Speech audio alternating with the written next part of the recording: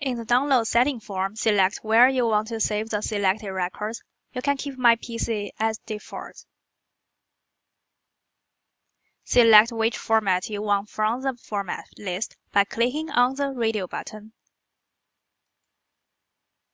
If you selected a different format, you may need to select whether you want to download the current page view, citation, abstract, or detail record from the list. Now click Save to download your citations. The form will be closed when you are finished.